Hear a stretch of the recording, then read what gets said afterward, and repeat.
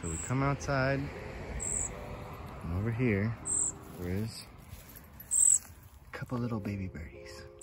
And the mama's not strong enough to get them back into the nest right there. But I'm thinking if I pull my van down here and put my ladder on top of the van, maybe that might work.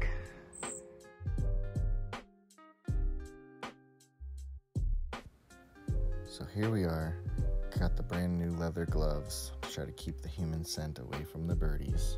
And I'm going to try to put them back into the nest.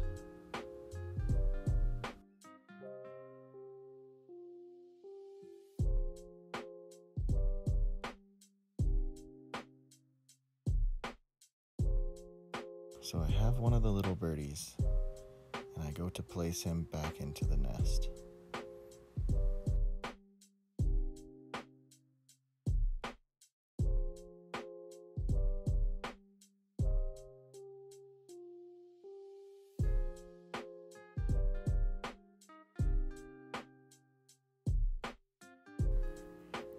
While putting him up there, I realize he's more like on top of the nest, not really in the nest.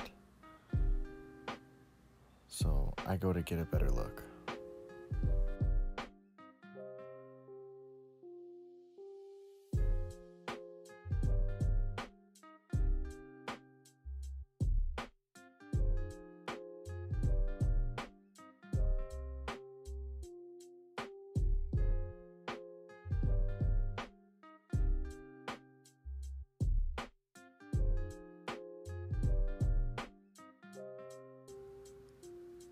Right about now is when I realized that that nest is full.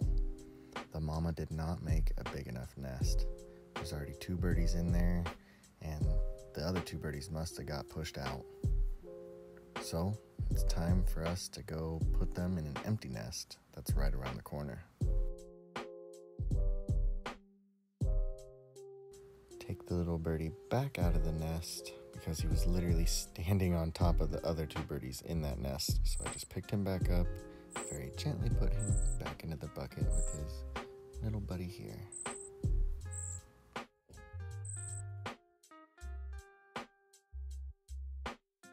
Here I am checking the empty nest to make sure that it is actually empty. And then I bring some nice moss over there to give it a nice lining so they have a kind of a fresh little nest for them to be in.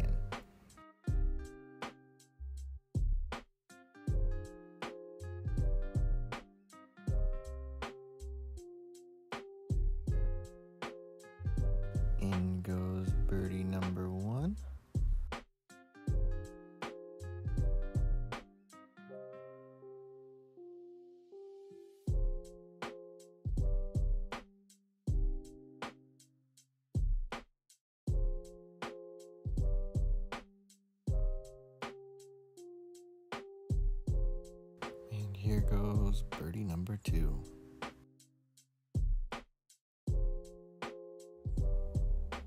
So here's the nest that we ended up putting them in. It's right here. We can hear them, that's for sure. But as you see, there they are, still rocking. So, so far so good. So coming outside after some rain and wind had hit, I noticed that the original nest had fallen out of the tree.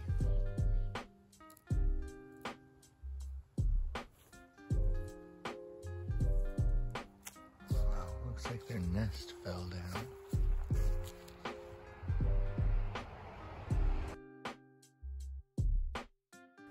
And there were still a birdie or two in that nest. So I start looking, and if you see right here, I see him. There's the birdie on the piece of grass. So, update on the birds. We went outside, and there was another one on the ground. The rain and some wind came, knocked their nest onto the ground.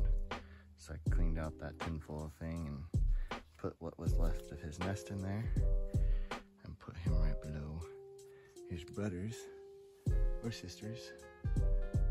They're still doing really good. So hopefully mama found where they are. But they're up and away from danger.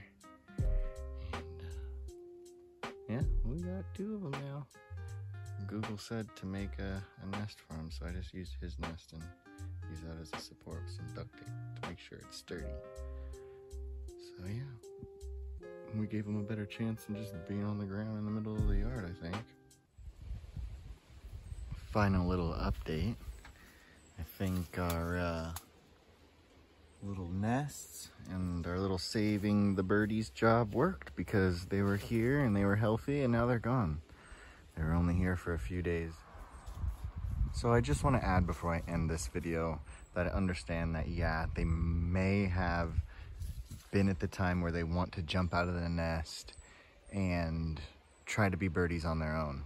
But um, I'm not an animal person and we have dogs and coyotes and all these animals coming through our yard and they just, you know, could barely hop around. So I just felt like it was a little bit soon for them to be out of the nest. So like I said, we Googled it and we just did what we thought was best. Some of you guys may not think that that was the best option, but hey, they lived and I think the tweeting in the background is them right now. So uh, end of the story is I think we did the right thing, but either way, they lived and they're happy, healthy birdies. So thanks for watching. If you guys want to join me on more of my videos, please like and subscribe, share the video if you want, and have a great day.